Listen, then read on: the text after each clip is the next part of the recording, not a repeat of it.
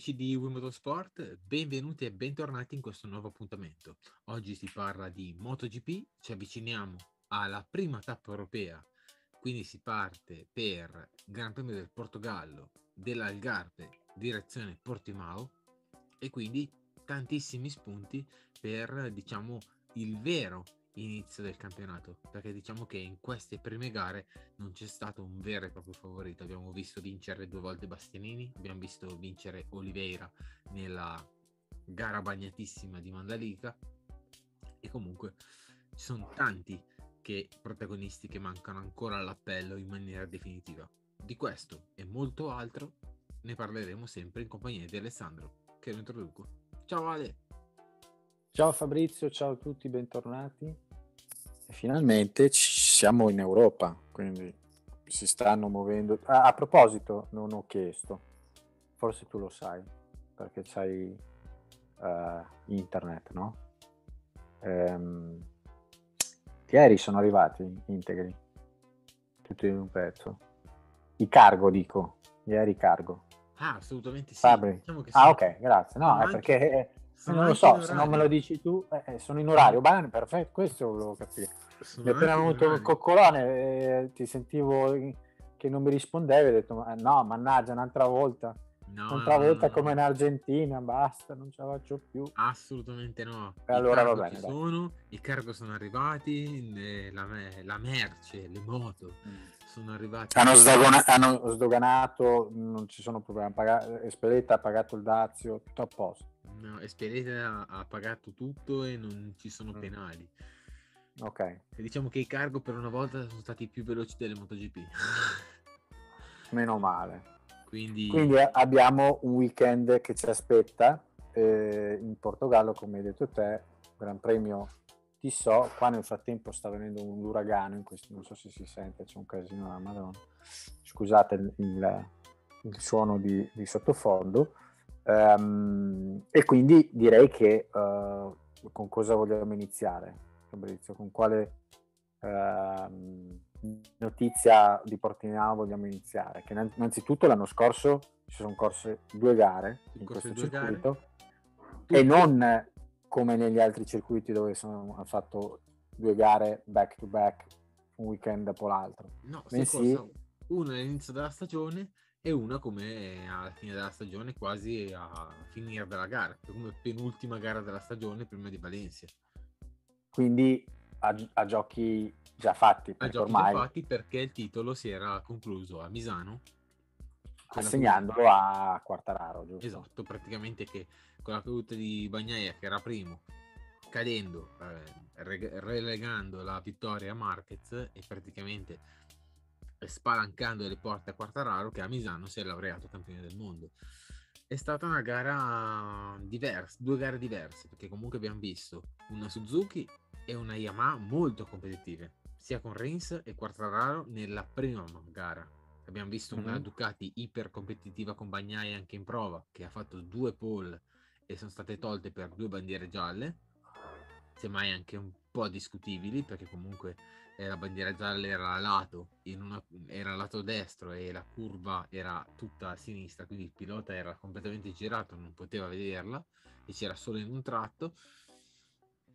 Detto questo, comunque anche la, anche la Ducati è stata molto competitiva nella prima parte. È stata una gara, soprattutto la prima, dove eh, si ricorda soprattutto per il rientro di Mark Marquez. Mm-hmm. E quindi eh, sono tante eh, episodi della prima gara. Mm, la caduta di Rins, la vittoria di Quartararo, il rientro di Marquez, la rimonta di Bagnaia. E poi c'è il, la seconda gara che è, è stata praticamente in, il contra- tutto il contrario della prima.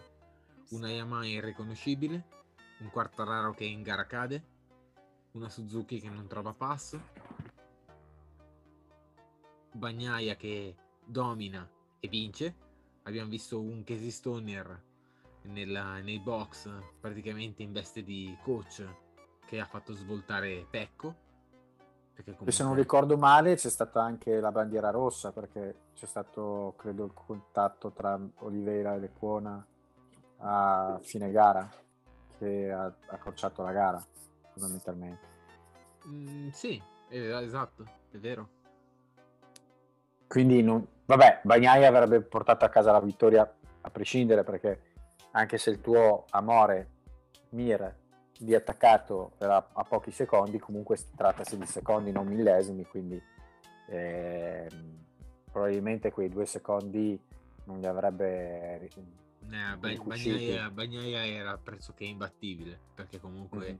eh, aveva una, un missile quella famosa GP21 che adesso tutti invidiano come se la Ducati praticamente la dovesse vendere in un concessionario sarebbero tutti con il furgone a caricarle a, a uh-huh. chili di questa GP21 che adesso diciamo che questa GP22 fa tribolare tutti quelli che sono ufficiali perché tutti da che mondo è mondo si rincorre sempre la moto ufficiale moto ufficiale e invece quest'anno la moto ufficiale non è tutto questo non è oro quanto pesa e soprattutto in, eh, in, in, un'altra casa, non tanto quella Ducati, ma piuttosto quella Yamaha, dove c'è questa sofferenza ulteriore di competitività. Abbiamo visto che Quartararo avevano fatto anche un calcolo di quanto perdeva in rettifilo ad Austin ed era tre decimi al giro che moltiplicato per il numero di giri che ha fatto praticamente equivale a 6 secondi. Questo È ci fa che riflettere che fondamentalmente lui era concluso a 6 secondi 670 mila, una roba del genere, quasi 7 secondi, che vuol dire che comunque sì, ha preso 6 secondi da, da Bastianini. Poi ovviamente stiamo parlando di situazione gara rispetto a situazione qualifica, ed è ben diverso, lo sappiamo. Cioè, se poi andiamo a guardare anche il record del tempo sul giro in gara rispetto al tempo sul giro in qualifica, sono due tempi completamente diversi. Quindi, giustamente da prendere con le pinze. Ma in ogni caso è un, è un dato di fatto, nel senso che quando tu consideri che perdi tre decimi in un rettifilo, ovviamente Quartararo va come un diavolo perché li recupera tra frenata e percorrenza in curva non tanto ovviamente in trazione e accelerazione e ovviamente non con la velocità e di motore, però con tutto il resto riesce a sopperire un po' questa cosa qua. Quindi noi lo mettiamo sempre lì tra i migliori, perché giustamente lo mettiamo tra i migliori. Ovviamente la Yamaha è veramente la peggiore moto, forse, a, a questo punto. Cioè fa molta gara con Honda e KTM ma questi due almeno un po' di motore ce l'hanno, quindi fondamentalmente lo sviluppo lo, lo ripetiamo e lo continuiamo a dire proprio ogni volta che abbiamo un'occasione un, di parlarne. Eh, mi sembra eh, ovviamente ridondante sempre ripetere la stessa cosa, però è un dato di fatto, nel senso Yamaha non, non si sta muovendo, non dà, non dà segnali di fumo, non dà speranze c'è stato appunto Quartararo che ha buttato lì l'idea che ci sarà qualche pezzo nuovo da utilizzare in Europa, però più di questo non è che non ci sono grandi ehm, speranze insomma all'orizzonte per Yamaha. Assolutamente no, diciamo che se dobbiamo fare un, un esempio, allora Suzuki ha lo stesso schema, costru- ha lo stesso schema costruttivo nel senso che ehm, è un 4 cilindri di fronte marcia. Suzuki è arrivata in MotoGP molto dopo Yamaha perché comunque è, è entrata, è sempre stata dentro come 500 MotoGP con scarsi risultati in MotoGP, nella prima parte di MotoGP. Poi è uscita, quando è rientrata comunque ha fatto la sua gavetta e poi dopo è arrivata a un ottimo stato. Adesso la Suzuki, eh, anche lei aveva un gap di motore che quest'anno possiamo dire che lo ha chiuso questo gap di motore. O meglio, si è avvicinata veramente tanto. Quindi... No, no, no, ma poi possiamo tranquillamente dire che la bontà del motore Suzuki in velocità e in accelerazione è pari a quella della Ducati, l'abbiamo visto. Ok. Quindi... Poi ovviamente anche lì bisogna sempre considerare che c'è il consumo, no? quindi la Ducati non è che sta con tutte le valvole aperte, non è, messa al massimo, esatto. perché devono conservare il carburante perché sennò arrivano a fine gara. Però questo vale per tutti quanti fondamentalmente. Bisogna andare di, di, parsimonia perché comunque tra mm. eh, la Ducati se dovesse avere un, il regolamento con 24 o più litri se quel motore gli deve da bere ti fa anche, 4, ti fa anche 400 all'ora sì. quelle mappe spinte tipo da quelli diciamo che gli unici ribadiamo che hanno una situazione un po' open è la Priglia che può esatto, esatto. Che, che può andare in giro perda, con... speriamo che la perda presto sì così ha una situazione più reale più realistica esatto. per quanto riguarda la, il team quindi, e, la, e, le condizioni quindi sì. tornando, tornando a Yamaha eh, fa, fa, fa strano perché soprattutto Suzuki ha, è riuscita a chiudere mm. il gap quest'anno, ma con entrambi i piloti. È una moto eh, cosiddetta facile, è una moto che eh, non è che va solo un pilota, è una moto che ne ha solo due, ma entrambi i piloti hanno risultati molto più mm, allineati. È vero, Rins ha già fatto due podi, ha fatto un terzo secondo. E ti dirò proprio per questo motivo qua, io lo metto tra i favoriti per l'Europa. E da qui andando avanti sarà saranno veramente cavoli amari per tutti quanti perché Rins se continua con questa fase positiva qua attenzione attenzione. Ma tutti gli anni si, parla di, si parlava di Rins. Il problema è che Rins nei momenti cruciali ha sempre esagerato. È sempre caduto ha sempre buttato via un sacco di punti sopra- ma anche quando c'era Brivio eh? cioè adesso non c'è l'alibi del team manager.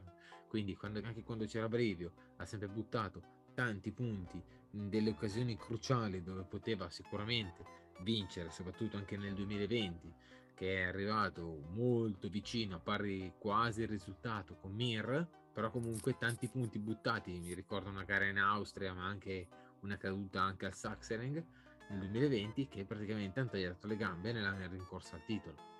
2021, dico, qui 2021, ha cambiato chiaramente rotta e facciamo molta attenzione a questo ragazzo perché co- qualcosa è cambiato.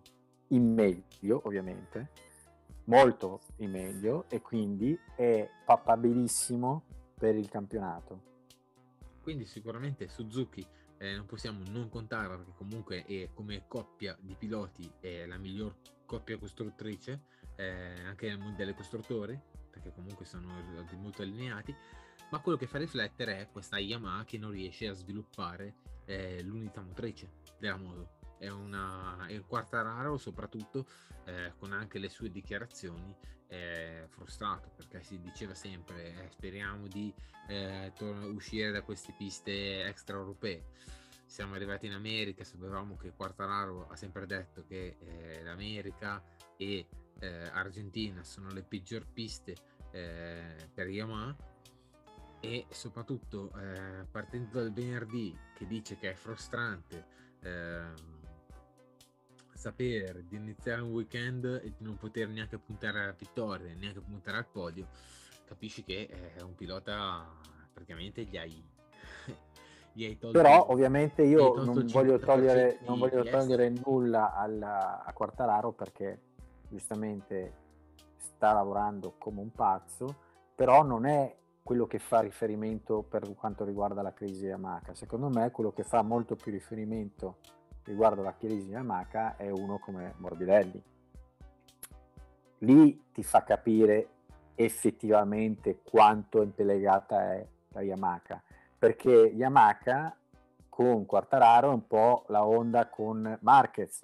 E questi, e questi, queste punte di diamante non possono essere il riferimento per quanto riguarda la difficoltà o meno di un, la bontà di un progetto, ma il resto del gruppo è sicuramente il secondo pilota. In questo caso proprio Morbidelli ci dimostra che la Yamaha è in gravissima crisi, perché è lui che non sta portando a casa i risultati. Quartararo spinge e va avanti e, e farà il tutto il possibile per, per fare in modo di non rimanere indietro nel campionato e si lamenterà finché vuole ma è Morbidelli che si dimostra veramente quant'è la gravità della situazione. Escludendo, ovviamente, io non voglio neanche prendere in causa giustamente Dovizioso e Binder perché, vabbè, stiamo parlando di, un altro, di un'altra Yamaha, non sicuramente quella di riferimento. Beh, comunque c'è da dire che anche il team di Razzali, il team RNF, praticamente è, è caduto molto in basso. Cioè, è sparito. È Era già in difficoltà, è sparito. Esattamente, da quando, si è, la, da quando si è diviso il team Petronas con, tra Razzali e Stigfeld, eh, praticamente già l'anno scorso aveva avuto un periodo di uh, transizione, mettiamola così, perché quest'anno di poi sia Valentino che era all'ultima stagione e sia, sia Morbidelli che era praticamente irriconoscibile, cioè quest'anno le Yamaha del team di Razzali sono praticamente ultima e penultima e in condizioni di asciutto. C'è stato l'esploit di Binder facendo una bella gara Mandalika sotto la pioggia, però nulla di più, ecco. E eh, mm-hmm. il problema è che mh, mm, se andiamo a fare un tracciare una riga sul bilancio Yamaha, vedi un quartarato che a Austin si è visto quanto praticamente forzi completamente gli ingressi per recuperare tutto il tempo e sfruttare la percorrenza, cioè va a valorizzare t- tutti i punti di forza, va a esasperare i propri punti di forza della, della Yamaha, per, sapendo, sapendo soprattutto quanto si perde nei punti deboli, cioè nell'uscita uh-huh. di curva e nella accelerazione e nella velocità di punta.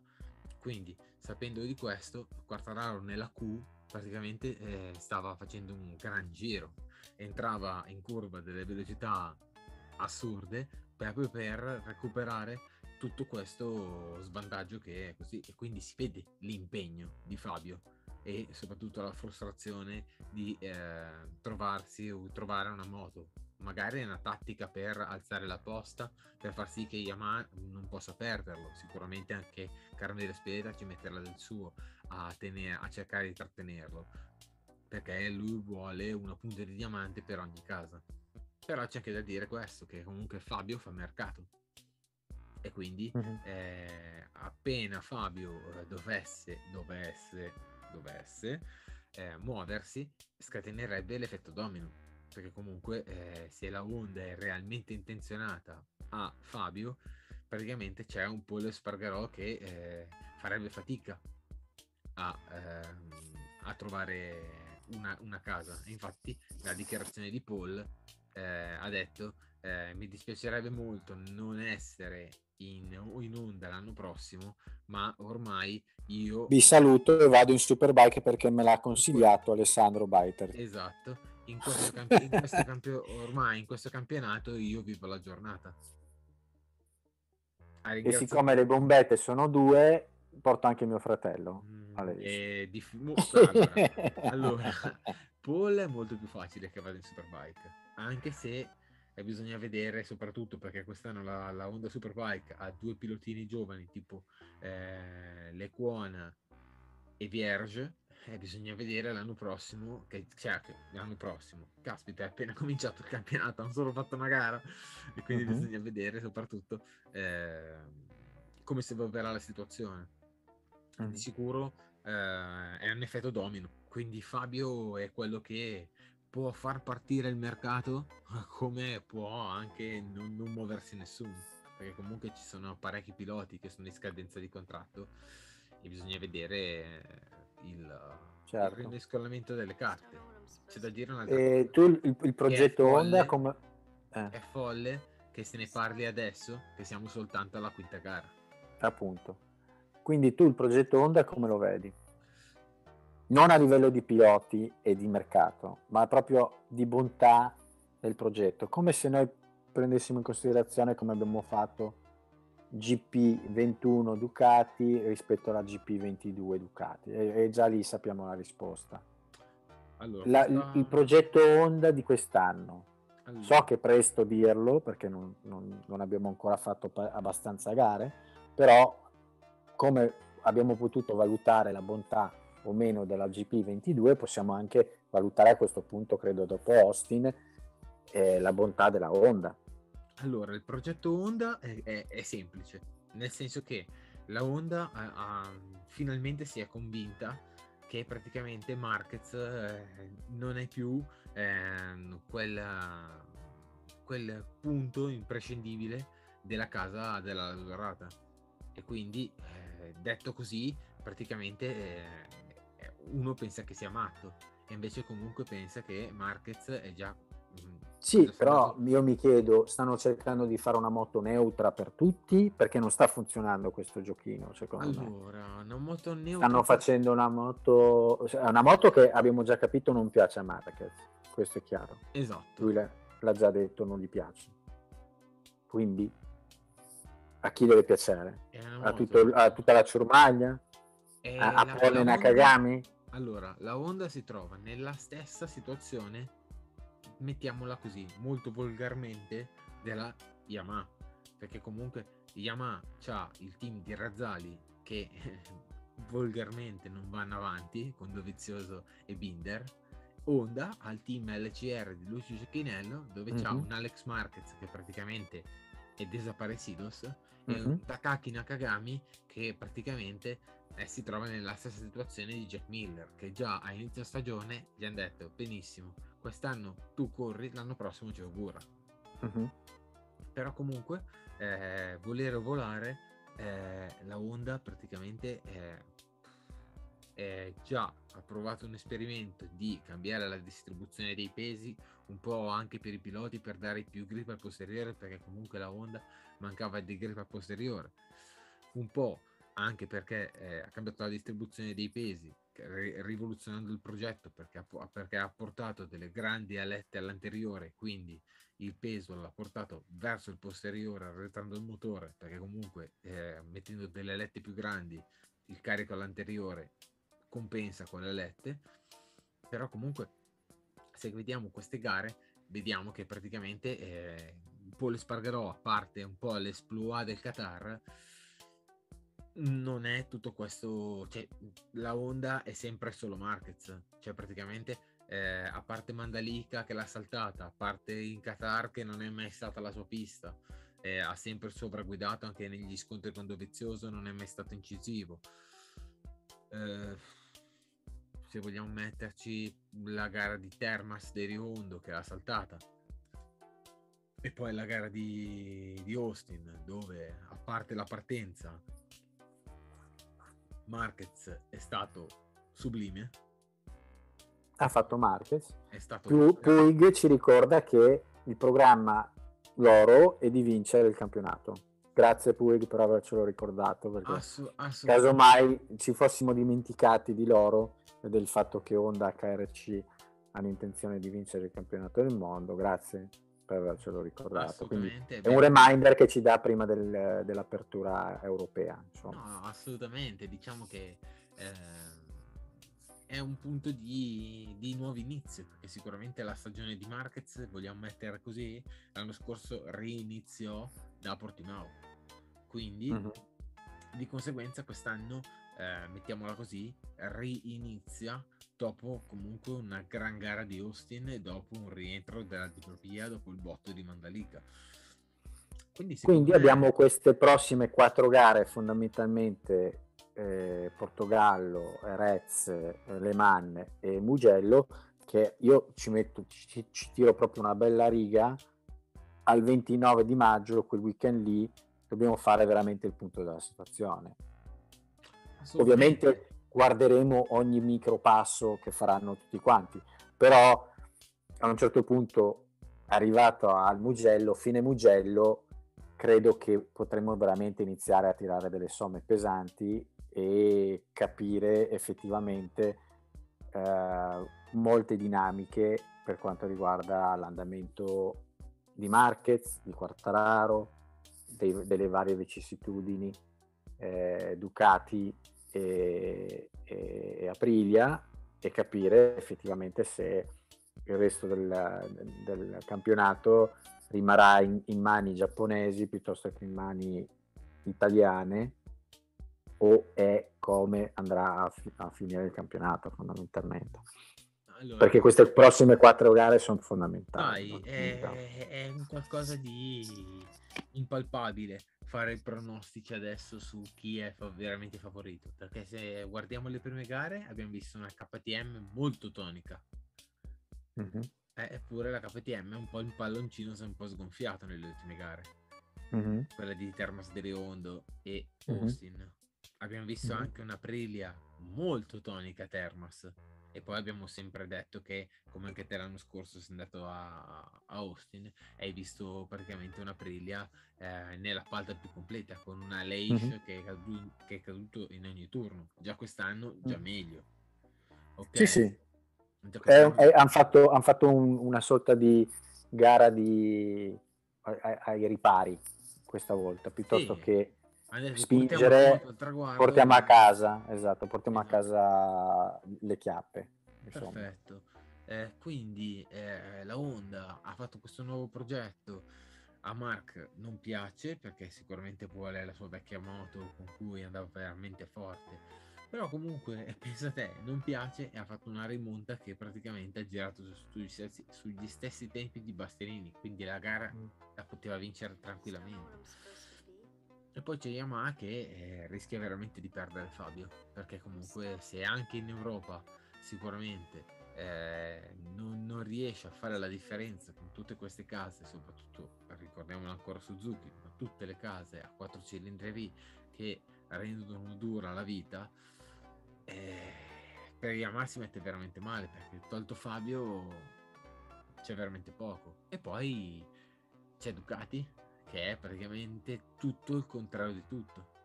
Perché comunque mm. c'è un Miller che praticamente ha già il, ha già il biglietto di, di, andata in Pramac.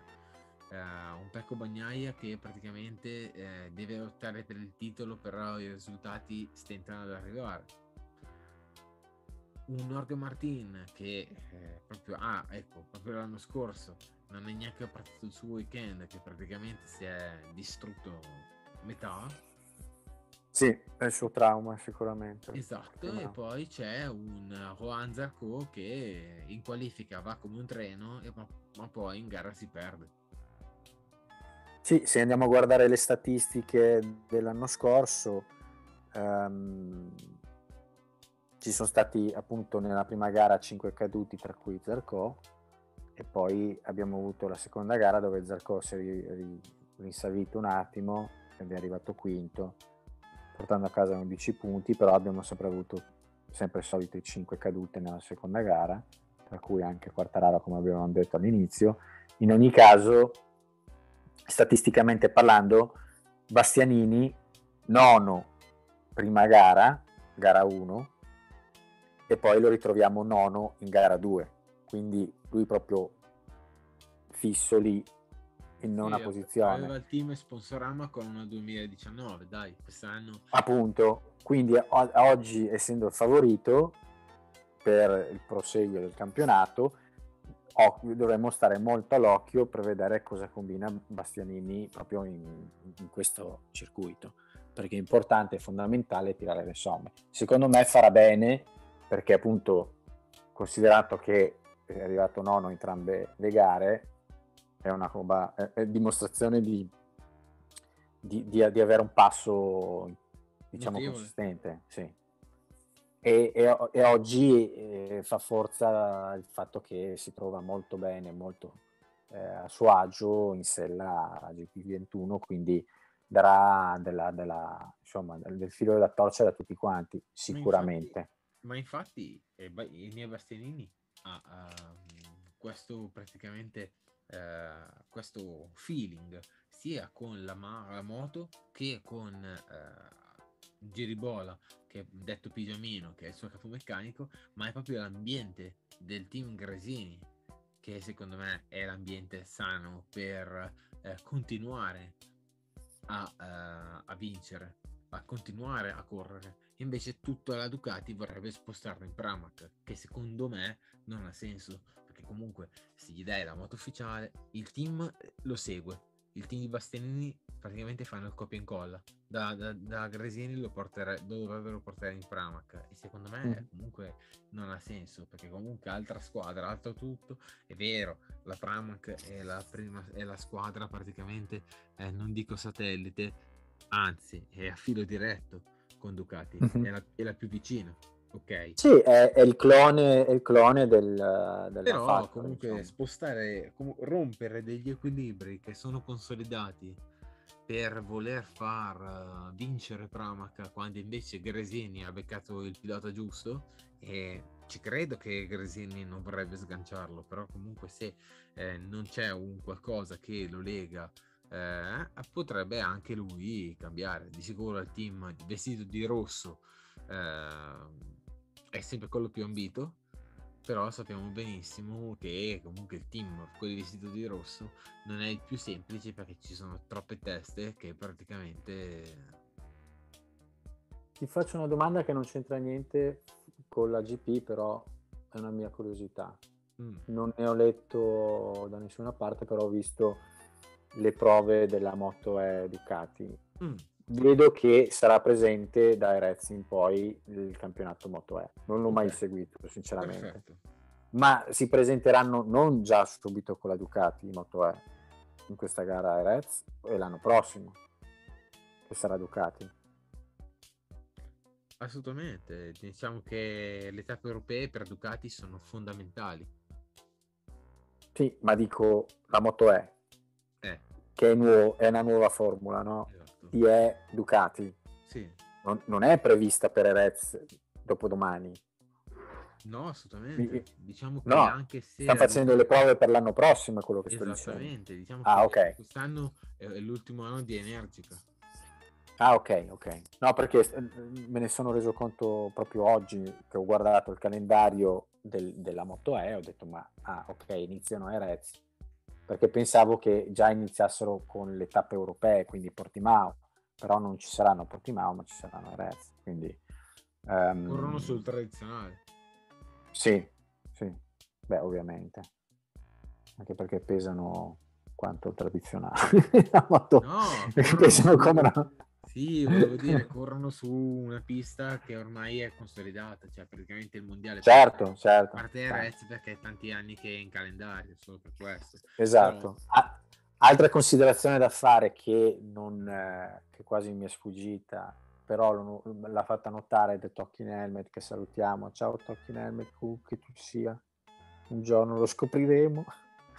Comunque lui, hai visto il video, no? l'abbiamo visto tutti quanti il video, è interessante perché ormai è diventata una roba che ci aspettiamo e esatto, vogliamo seguire. riesce molto ad approfondire eh, con, una, con, un'ottima cronologia. Esatto, e ha detto una cosa che mi ha fatto molto riflettere, che giustamente siccome con te abbiamo parlato a lungo della de, de, delle problematiche Michelin di Tramasso e di tutti i casini della Michelin in passato, una cosa che ha sottolineato che è fondamentale, molto importante e da, da segnalare e quasi da celebrare è che non si è praticamente parlato della Michelin.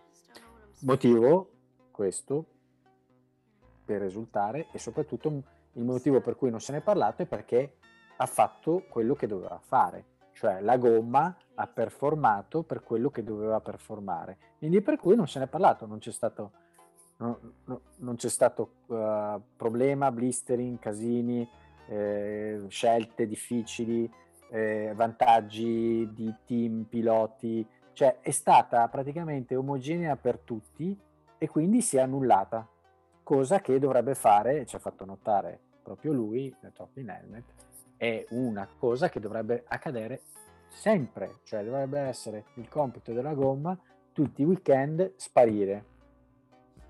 E è sparita. Purtroppo non è così, perché comunque tutte le settimane c'è sempre eh, chi va forte, chi non va forte. L'anno scorso praticamente nelle ripartenze quando cambiavano le gomme, eh, la, la, seconda gomma o era talmente me, tanto meglio della prima che si, era parcheggiato, si erano parcheggiati praticamente Guido a aspettare.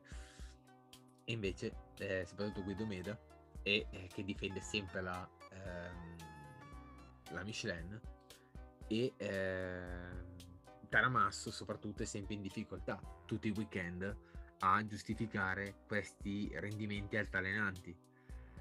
Beh, io tengo le dita incrociate perché dico se è successo ad Austin probabilmente anche un però po' se vogliamo. Però, no, dico, però no, no, a parte no, come, come, è stata no, no ho capito.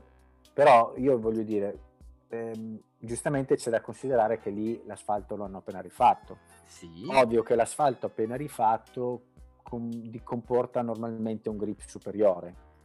Non necessariamente, però una qualità, a- hanno abbassato i, i tempi eh, in gara totali sul giro, sulla okay. gara completa di 20 secondi, che è dimostrazione che comunque la pista è migliorata dopo la, la nuova asfaltatura, per cui credo che questo sia anche un po' complice il fatto della Michelin che non abbia avuto problemi proprio perché ha avuto un fondo molto buono con cui lavorare fondamentalmente.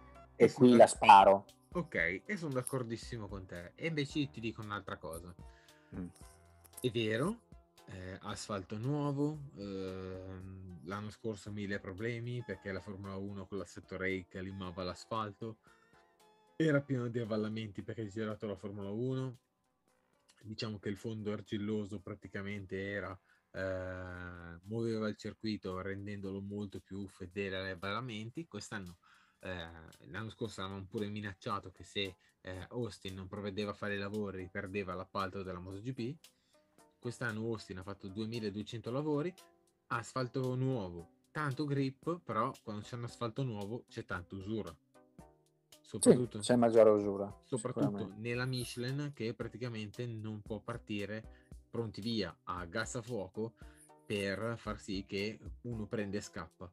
Ci sono sempre le gare dove si deve andare, si deve andare a passeggio eh, le prime parti di gara per poi scatenarsi negli ultimi giri quando Bastianini evidentemente è quello che ha capito meglio di tutte le gomme.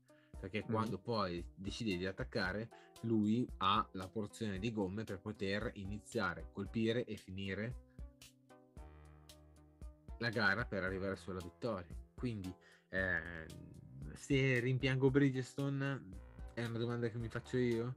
Eh, ni però ti posso dire che tipo si è visto anche questa settimana qui il mondiale endurance eh, che mm. si tratta la 24 ore di Le Mans mm-hmm. e i primi tre posti di eh, Suzuki, Yamaha, Yard e eh, un'altra Yamaha se non sbaglio, no è Kawasaki France erano tutte gommate Bridgestone Bridgestone che porta praticamente le gomme del, del 2015 con qualche step eh, sulla, sulla, carcassa e per portare qualche cosa più eh, mirata all'endurance. Ma sono gomme prototipo tranne Aprilia tranne scusami Pirelli e Dunlop che praticamente eh, portano nel, nel, loro praticamente background e nella loro, nel loro catalogo portano delle carcasse stradali, sono molto più vicine al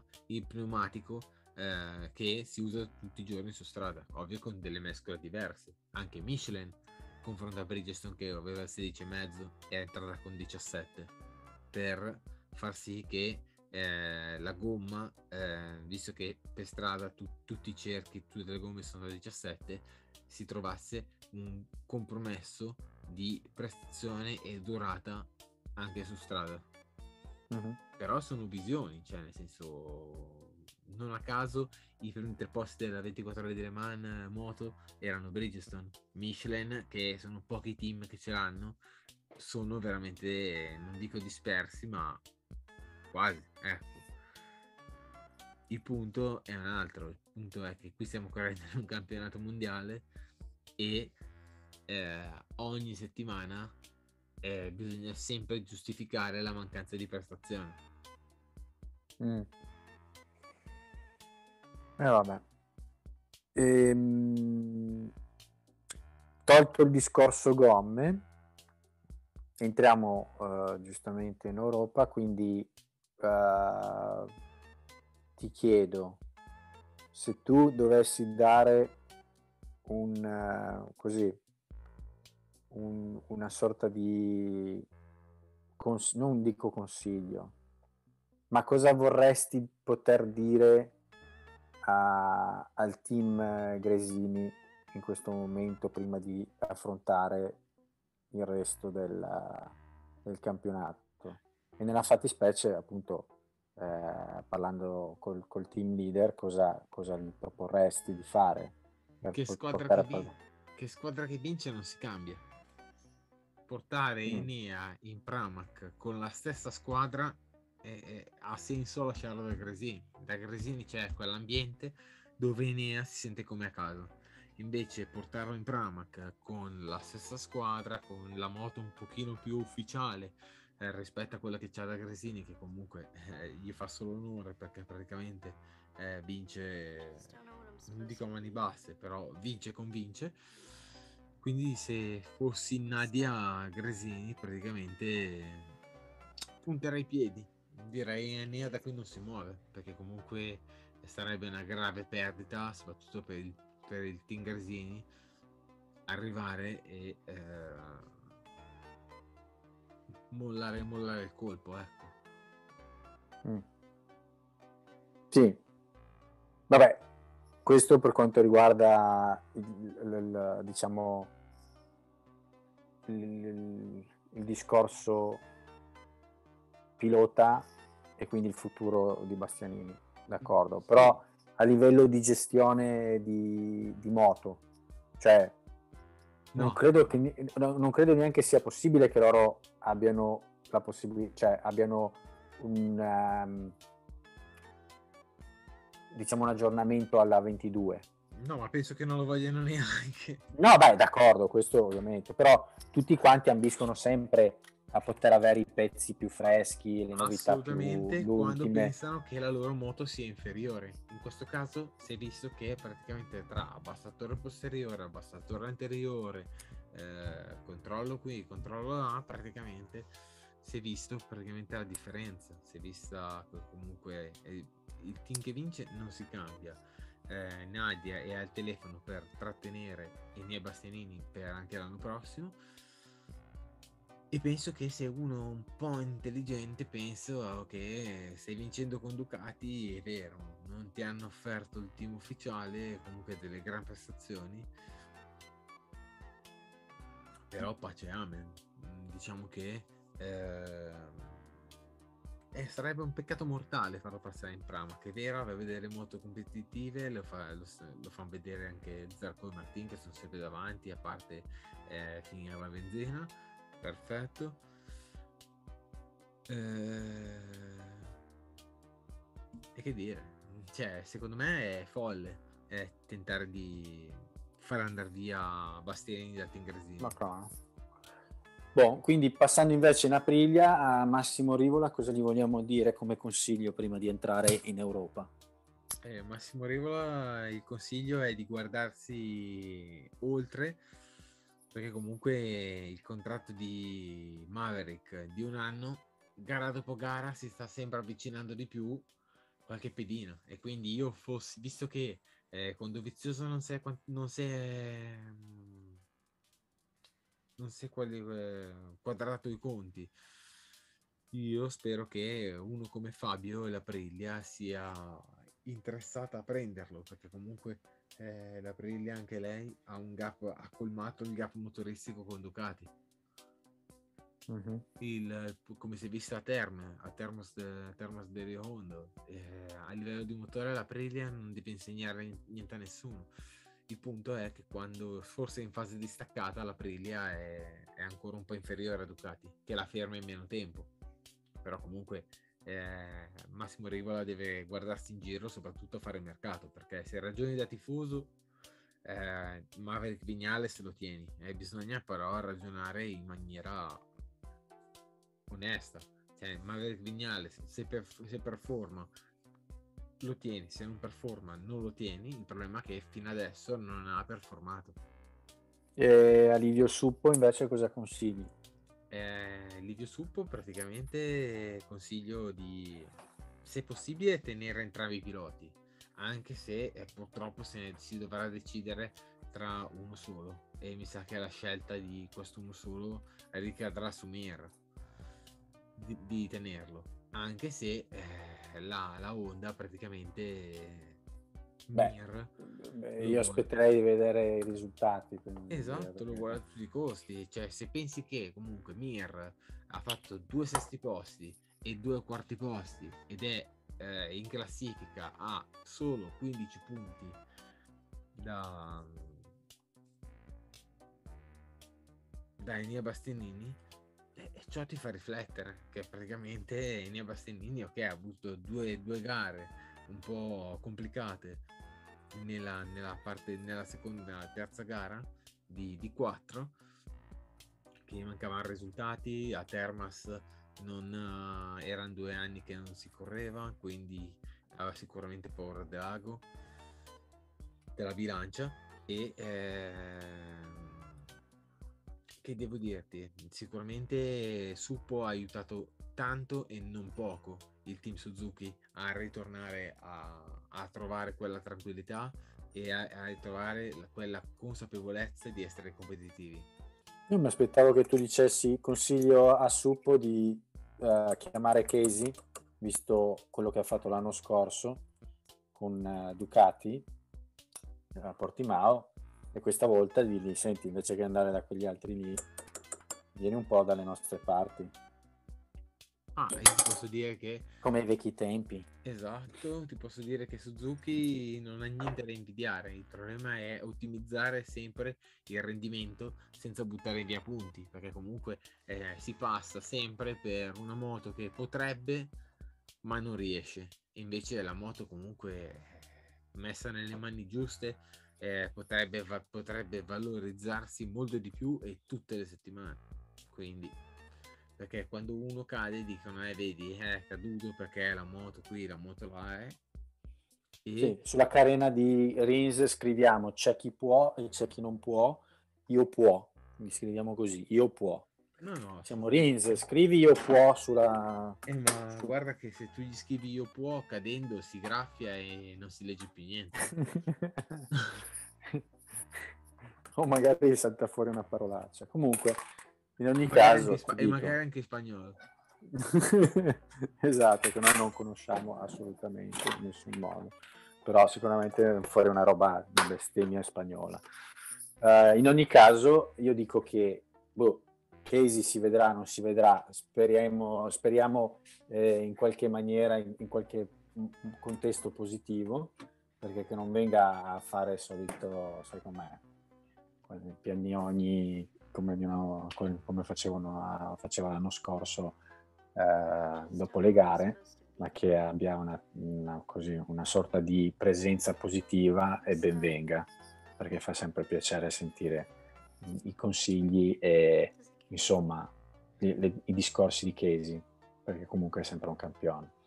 Però è capace come Lorenzo di, di lamentarsi, di piangere sul latte versato, sulle robe del passato, ha, secondo me non serve assolutamente niente. Ultima cosa che vorrei così lanciarti lì dell'ultima ora eh, che mi hai fatto presente tu è il discorso che ha fatto Domenicali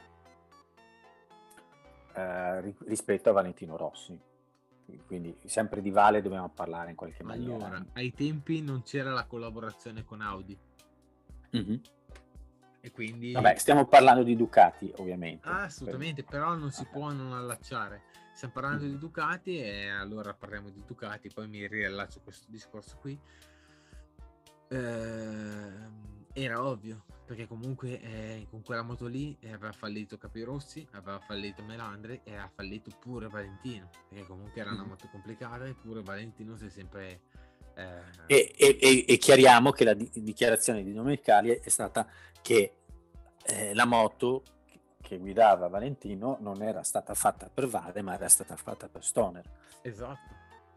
Quindi per cui è un po' come dire, ops, scusia, ci scusiamo perché comunque questo era quello che è successo e all'epoca invece sparavano a zero su Valentino, giustamente. Esatto. Quindi in, eh, in, in, modo molto ingiusto, se vogliamo. Però è un circolo vizioso, ecco, perché comunque è tutto giustissimo quello che hai detto, però è un circolo vizioso perché comunque adesso è entrata Audi da, da anni, è entrata Audi nel, nel programma corse di, di, di Ducati, acquisendo mm-hmm. corse e acquisendo proprio anche il marchio Ducati. Quindi e Valentino con cosa corre in questo momento? Valentino, la sua macchina stradale è Audi, lui corre nel mondiale eh, GT3 con Audi, lo sponsor mm-hmm. dell'Academy è la Cupra, cioè la Seat che è della Audi. Mm-hmm. E quindi è un conflitto.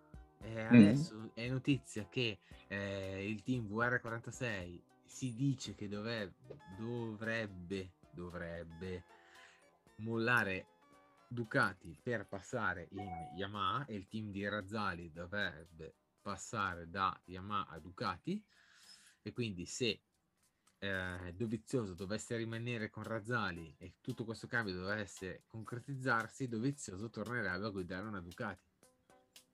Quindi per cui Quindi per Tu- cui le tu, dichiarazioni- ass- tu dici che le dichiarazioni di Domenicali sono per cercare di fare bella faccia a cattivo gioco perché in realtà lui si vorrebbe mantenere eh, il- cliente VR46 Assolutamente, Ducati. perché comunque tenendosi il cliente VR46 ha il diritto di prelazione sull'Academy Mhm. e comunque c'hai eh, tutti i giovani dell'Academy o più o meno quasi, eh, diciamo che quelli giovani sono tutti in, eh, in Ducati. quindi sono, Cioè, Luca Marini, po- sono eh, dinamiche Benedetti. politiche fondamentalmente com- Secondo come me la- sì, perché comunque eh, non si sono lasciati bene Valentino e eh, Valentino e Ducati. Sicuramente sono stati due anni molto difficili, dove soprattutto ehm, l'opinione pubblica eh, era di Valentino era calata di molto, perché comunque da tutti era detto il dottore, quello che ehm, appena visto come un remi da Valentino, che ciò che quello che toccava trasformava in oro eppure con quella moto lì era talmente complicata perché comunque era, era impostata per una guida molto australiana molto sporca. E invece Valentino come tutti i piloti europei ha bisogno di una, una moto dove praticamente predilige il trasferimento di carico dove si sente l'anteriore invece su quella moto lì Stoner guidava un po' tu- tutto con, con il posteriore un po' tutto a memoria ecco. È molto eh, guidata molto di forza con un telaio estremamente rigido ecco. Direi che a questo punto l'unica cosa che rimane da fare è fare un- una sorta di pronostico, cosa che abbiamo già fatto su Instagram settimana scorsa anzi insieme a l'oc- e a Silvia. cogliamo l'occasione per dirvi che venerdì ci sarà una Mm. nuova diretta su Instagram quindi seguiteci perché comunque abbiamo tanto seguito su Instagram Mhm. e quindi E direi che a questo punto, nonostante di abbiamo già fatto un pronostico insieme a loro, eh, mettendo, se non ricordo male, Bagnaia al terzo posto, esatto giusto? no Quartararo al terzo posto Sì. Allora me lo ricordo diverso, cioè io me lo ricordavo il contrario, mi, cor- mi ricordavo Quartararo primo, secondo Rins e terzo eh, Bagnaia. ok e Silvia aveva messo terzo Quartararo No, secondo- noi siamo andati col, eh, col podio di Silvia, ad ogni modo, a prescindere, e- esatto. e dovremmo, dovremmo richiederglielo a lei, e, e mi, eh, mi scuso per non averlo segnalato, cioè non, non me lo sono segnato, avrei dovuto segnarmelo, così eh, me lo sarei ricordato. Fondamentalmente dobbiamo mettere un nuovo podio, ok? esatto. 3, 2, 1, qual è il tuo podio? 3, 2, 1, ti dirò il mio se ti va bene. Allora, secondo me non si può no, togliere Marquez, ci sarà un riscatto di Bagnaia e quindi io ti dico, eh, è difficile, è molto difficile, Beh, che sia semplice, sono bravi molto, tutti. molto, molto difficile. È molto, molto, molto. Vabbè, tanto qua abbiamo capito che Marquez Allora, non ti metti dico sul che questa gara qui la vince Bagnaia. Ok.